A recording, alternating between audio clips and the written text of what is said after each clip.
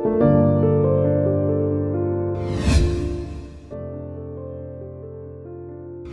Badarudin, Kades Talunumbo, daerah Wonosobo, itu kan yang punya niat yang sangat mulia banget rela menghibahkan tanahnya untuk para korban COVID-19 yang ditolak oleh warga.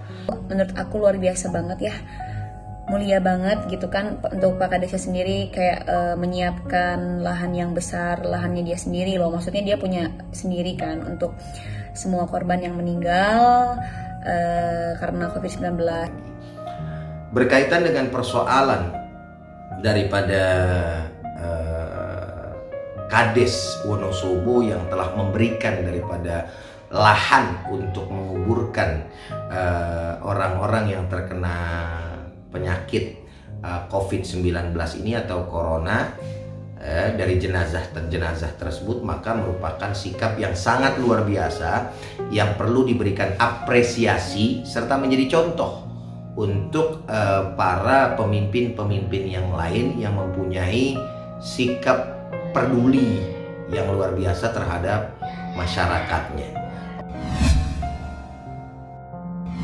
Sampai-sampai kepala desa ini mau menyumbangkan gajinya sebulan atau uh, beberapa bulan untuk korban dari COVID-19 itu bagus banget. Semoga banyak yang mengikuti.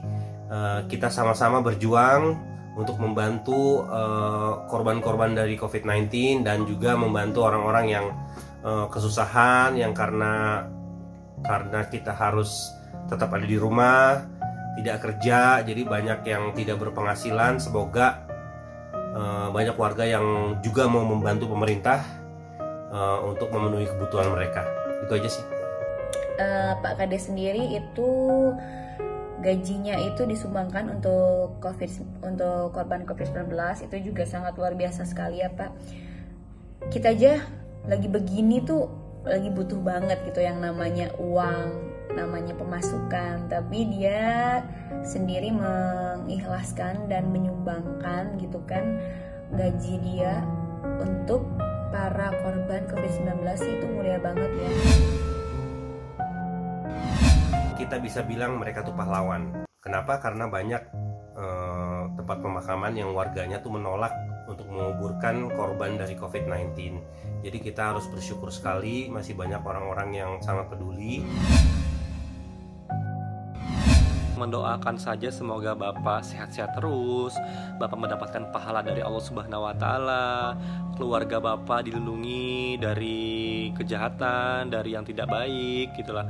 Ya pasti sih uh, apa niat Bapak yang satu ini menjadi inspirasi oleh banyak orang yang masih minimnya informasi bahwa penularan COVID-19 itu terjadi bukan karena ada jenazah yang dikubur di dekat rumah.